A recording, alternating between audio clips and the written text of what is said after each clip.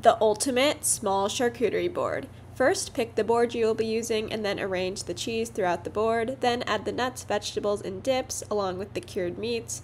From there, add the dried fruit and the fresh fruit, such as grapes. Then garnish with fresh herbs, serve, and enjoy. You can get the recipe at healthyfoodiegirl.com.